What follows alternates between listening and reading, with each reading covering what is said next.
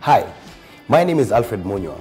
I'm playing the role of Silas in the hit show Crime and Justice, which is coming soon on your channel Showmax. It's the first ever Showmax original series, so be sure to watch it and keep it locked.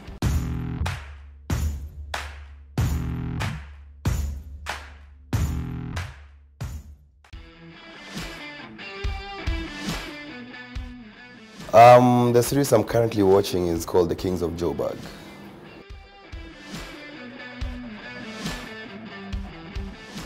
I've enjoyed quite a, a, number of them, but I can say the one that I can still remember is uh, a, a, screenplay written by, it was first a stage play. It was written by Cajetan Boy. He's a local uh, scriptwriter and he's also a director. Um, it was, it's called All Girls Together.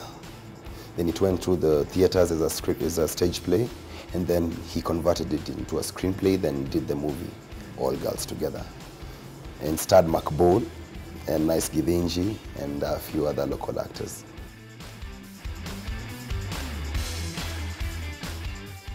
COVID really affected me as Alfred because um, when it all started and the whole hullabaloo about it coming to Kenya made so many productions come to a halt.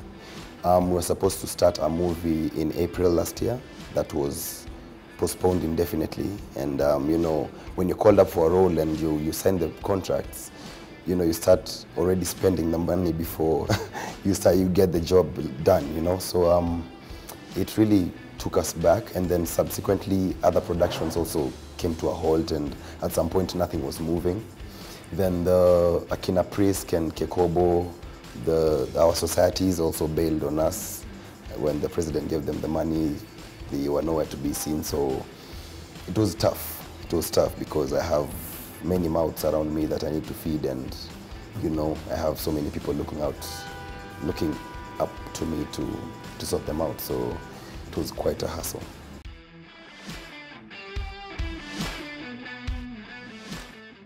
Right now, top of my head, I can think of two. Um, there's a movie called Sincerely Daisy, where we have Foy. Uh, Foy is also acting in one of the episodes in Crime and Justice, episode three. It's in my world, that's the best episode out of the eight.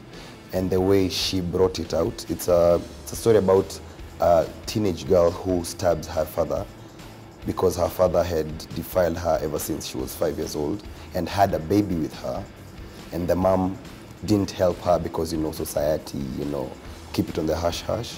So when this other child got to five years old, her resolve was to kill the father because he might start with the other. Yeah, so it was a very emotional episode where you can't know that did she do right to kill the dad? Was it a right thing? You know, it, it's really, and the way she portrayed it, it was just crazy. Like we watched it the other day, like I, I don't even know what to say.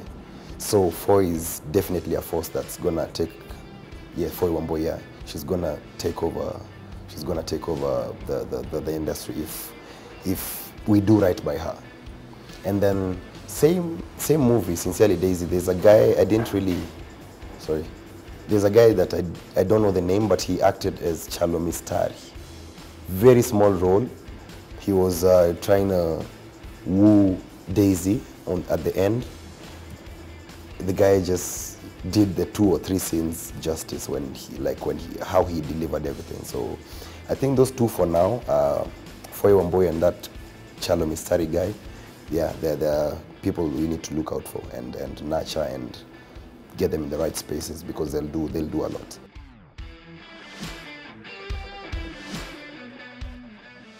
Um, I think truth for a start would be best because um, right now the attitude around the industry is, is, is, okay, things are changing, I must be honest, but there's that sort of weird um, greed mentality, you know? Like for example, if I'm a producer, right, then I call you up for a show. Since you as an actor, you know producers in Kenya or Africa like taking half of the budget to their homes, you will come with an attitude like, ah, I know Alfie has called me for a job, but well, how much is he offering? 10,000. I'm sure it's 50K, but he's giving me 10. So you won't even give me your all when you come to set, you see? So there's that attitude of people are not sure if the other person is being honest. So if truth and realism will be added into whatever is happening right now. And like when you come to set, you're sure you're getting your worth and your, you know, people will do magic. Yeah, that's the only hurdle. Because people have stories, people have skill, people are talented. The crew in Kenya is second to none in Africa, so we have no excuse not to be where we need to be. We just need to be a bit easy on the on the on the on the ulafi and then the corruption. Yes, yes. When it dies out or it just kidogo, will be good.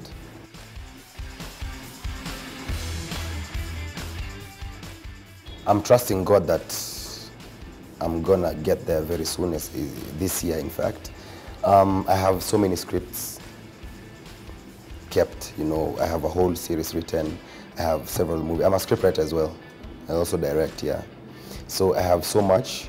I'm, I'm just waiting for the time when money meets story and magic will be born. I'm a good guy, I'm a fair guy, so I'm sure I'll do a good job.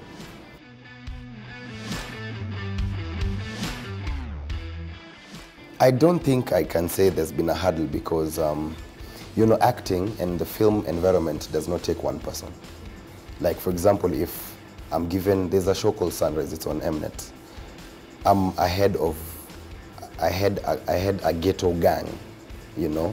So my other accomplices and the people that we are maybe fighting against and, you know, the efforts, the, the antagonism, protagonism fight makes my role look good. It's not that yet I'm good at being a villain. It's just because the good guys are doing their job and my fellow bad guys are complimenting me, so we turn out as a good outfit. It's not that uh, there's something nice or sinister about how I do my role. It's just any role I see, I do the do my research, ask the director what they want me to do because it's their show anyway, and then I try to do what they want to the best of my ability and what God can, you know, furnish me to offer.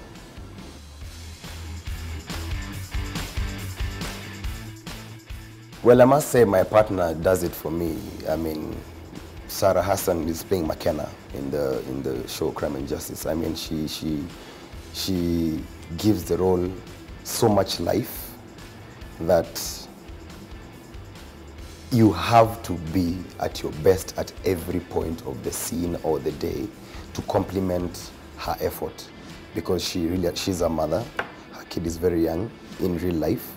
She puts that all that aside to you know to focus on this and she has her family to you know look after because she's a wife and everything so to imagine that she can still up her game you know you can't you can't play down. You have to keep it up. So she's awesome. She's amazing. She's an amazing human being. And yeah and everybody else. I mean Maqbul we have John Sibi-Okumu in episode one. I'm telling you guys will be blown away with this show. We have very very nice and serious characters that are just passing away. You know, every episode brings different people. So that's why I'm talking about my partner because she's constantly on set. But the way people are just being brought on set, the new people with the new cases, crazy. Yeah, yeah, hot, hot, hot.